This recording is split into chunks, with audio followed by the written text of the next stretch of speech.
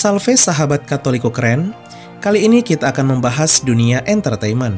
Sahabat Katoliko keren, ada begitu banyak artis Katolik di tanah air yang berkarya.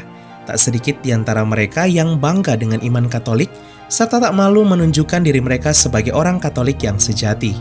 Di sisi lain, sejumlah artis Katolik tanah air akhirnya resmi melepas masa lajang setelah menerima sakramen perkawinan Katolik. Beberapa di antaranya juga tetap mempertahankan iman Katolik mereka, bahkan membuat pasangan mereka menjadi seiman. Inilah 8 pasangan selebritis Katolik yang baru di Indonesia. 1. Eva Celia dan Demas Narawangsa Eva Celia adalah salah satu artis Katolik yang akhirnya melepas masa lajangnya. Artis kelahiran 1992 ini menikah dengan Demas Narawangsa pada tanggal 3 Juni 2022, momen kebahagiaan putri dari artis Sofia Lajoba ini berlangsung di Gereja Katolik Paroki Katedral, Jakarta.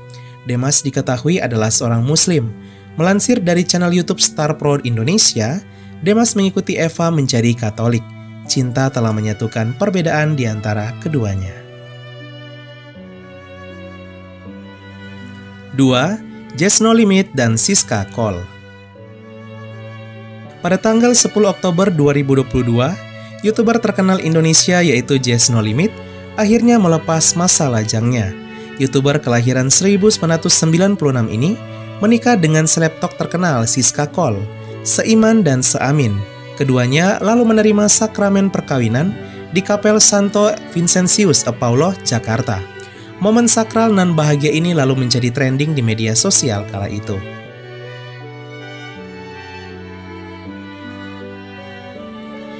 3. Chelsea Islan dan Rob Clinton Dua bulan kemudian, kabar menggembirakan juga datang dari artis Katolik terkenal Indonesia yaitu Chelsea Islan. Artis kelahiran 1995 dan begitu taat dengan iman Katoliknya ini, akhirnya melepas masa lajangnya pada tanggal 8 Desember 2022 setelah menikah dengan Rob Clinton. Sebelum menerima sakramen perkawinan, Rob Clinton yang adalah seorang protestan non-PGI akhirnya memutuskan mengikuti Chelsea Islan menjadi Katolik. Momen baptisan Rob Clinton dibagikannya di media sosial. Ia begitu bersyukur dan bahagia setelah sah menjadi orang Katolik dengan nama baptis baru Alexander. Kebahagiaan Rob Clinton tak terhenti sampai di sini saja. Setelah seiman, ia lalu menerima sakramen perkawinan di Gereja Katolik Paroki Katedral Jakarta bersama Chelsea Islan Kisah cinta yang begitu indah dari kedua pasangan Katolik yang romantis ini. 4. Next Carlos dan Vanessa Laurencia Di awal tahun 2023, kabar sukacita datang dari YouTuber terkenal Indonesia yaitu Next Carlos. YouTuber asal Pontianak, Kalimantan Barat, kelahiran 1986 ini akhirnya melepas masa lajangnya setelah menikahi Vanessa Laurencia pada tanggal 8 Januari 2023. Momen sakral dan indah mereka berlangsung di Gereja Katolik Paroki Santo Sylvester, Pecatu Kuta Selatan, Bali. Romo Alphonse Kolo menyatukan cinta keduanya dalam misa penerimaan sakramen perkawinan Katolik yang kudus. 5. Julian Yakob dan Miriam Eka Usai Next Carlos, kabar menggembirakan juga datang dari artis Katolik Julian Yakob. Artis kelahiran 1994 ini akhirnya melepas masa lajangnya setelah menikahi Miriam Eka. Pernikahan keduanya berlangsung di Gereja Katolik Paroki Katedral Jakarta pada tanggal 26 Januari 2023. 6. Mika Tambayong dan Deva Mahendra Beberapa hari kemudian setelah Julian Yakob, kabar menggembirakan juga datang dari artis Mika Tambayong. artis keturunan Manado kelahiran 1994 ini akhirnya melepas masa lajang setelah menikah dengan Deva Mahendra pada tanggal 28 Januari 2023. Mika adalah seorang Katolik yang taat, sedangkan Deva adalah seorang Muslim. Perbedaan di antara keduanya telah dipersatukan dalam pernikahan beda agama yang berlangsung di The Ritz Carlton, Nusa Dua, Bali.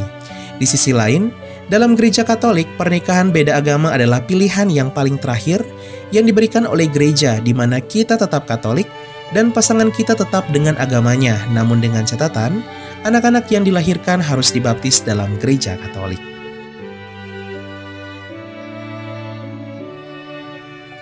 Tujuh, Angel Peters dan Andreas Wisesa Hanya selisih dua hari setelah Mika Tambayong, Kabar menggembirakan juga datang dari artis terkenal tanah air yaitu Angel Peters.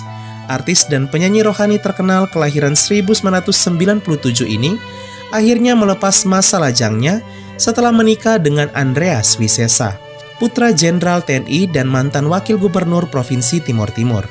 Diketahui Angel Peters adalah seorang Kristen Protestan keturunan Batak, sedangkan Andreas adalah seorang Kristen Katolik keturunan Jawa. Diketahui, Angel lalu memutuskan mengikuti Andreas menjadi pengikut Kristus dalam gereja Katolik.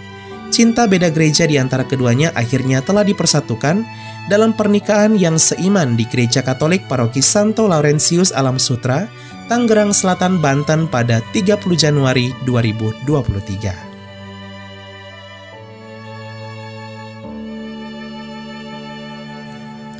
8. Patricia Gow dan Daniel Bertoli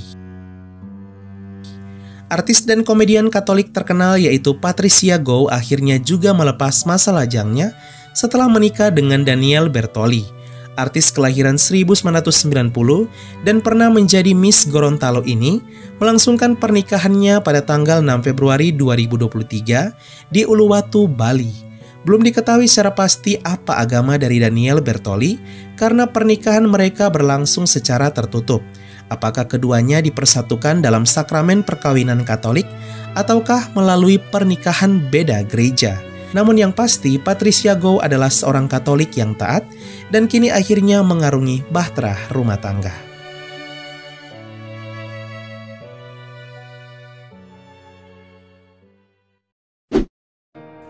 Sahabat Katoliko keren itulah 8 pasangan selebritis Katolik yang baru Wah, begitu indah dan romantis ya kisah perjalanan cinta mereka.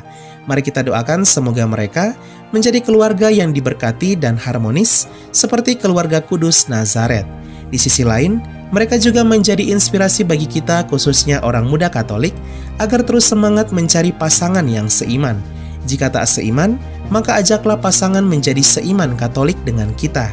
Jika pasangan tak mau, maka ingat Gereja Katolik masih memberikan pilihan yang terakhir yaitu pernikahan beda gereja atau beda agama agar kita tetap setia dengan iman Katolik kita.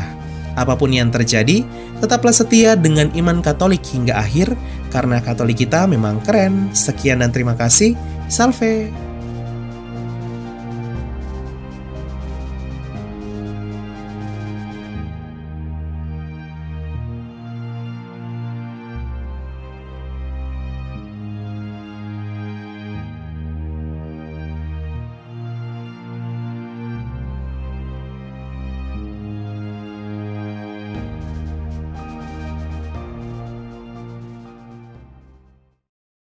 Keluarga kami dibangun dari berbagai bangsa, baik orang tua maupun muda, kaya dan miskin, pria dan wanita, orang yang berdosa maupun yang kudus. Keluarga kami selama berabad-abad telah ada di dunia ini. Dengan rahmat Tuhan, kami membangun rumah sakit dan merawat orang sakit membangun panti-panti asuhan untuk membantu orang miskin. Kami adalah organisasi berbasis keagamaan terbesar di dunia memberikan penghiburan bagi mereka yang membutuhkan. Kami mendidik lebih banyak orang dibandingkan organisasi lain. Kamilah yang mengembangkan metode ilmiah dengan pembuktian yang ilmiah juga. Kami mengembangkan sistem pendidikan dunia dan memperjuangkan hak dalam kehidupan setiap manusia maupun juga dalam pernikahan dan keluarga. Banyak kota di dunia diberi nama orang kudus kami menjadi inspirasi atas jalan suci mereka. Dibimbing oleh roh kudus kamilah yang membuat Alkitab dan melestarikan tradisi suci. Roh kuduslah yang masih terus membimbing kami hingga lebih dari 2000 tahun. Kami adalah Gereja Katolik. Dengan jumlah anggota keluarga lebih dari satu miliar memberikan sakramen sebagai pemenuhan hidup iman Kristiani. Selama berabad-abad kami selalu berdoa untukmu dan juga untuk dunia setiap jam dan setiap hari dalam misa yang kudus. Yesus sendirilah yang mendirikan gereja kami ketika ia mengatakan kepada Petrus pemimpin gereja katolik pertama, Engkau adalah Petrus dan di atas batu karang ini akan kudirikan gerejaku. Selama 2000 tahun kami memiliki garis kepemimpinan yang tak terputus, yang membimbing gereja katolik untuk mengasihi dunia yang saling melukai di dalam dunia yang dipenuhi kekacauan dan luka. Sungguh meneguhkan jika kami mengetahui bahwa ada yang tetap berada dalam kebenaran sejati yang kuat, yaitu iman Katolik. Cinta kasih yang kekal dari Tuhan dinugerahkan kepada seluruh ciptaannya. Jika Anda jauh dari gereja Katolik, kami mengajak Anda untuk mengunjungi gereja Katolik hari ini karena kami selalu terbuka. Kami adalah keluarga besar yang dipersatukan oleh Yesus Kristus yang adalah Tuhan dan Juru Selamat kami. Kami adalah gereja Katolik, selamat datang kembali ke rumah yang sejati.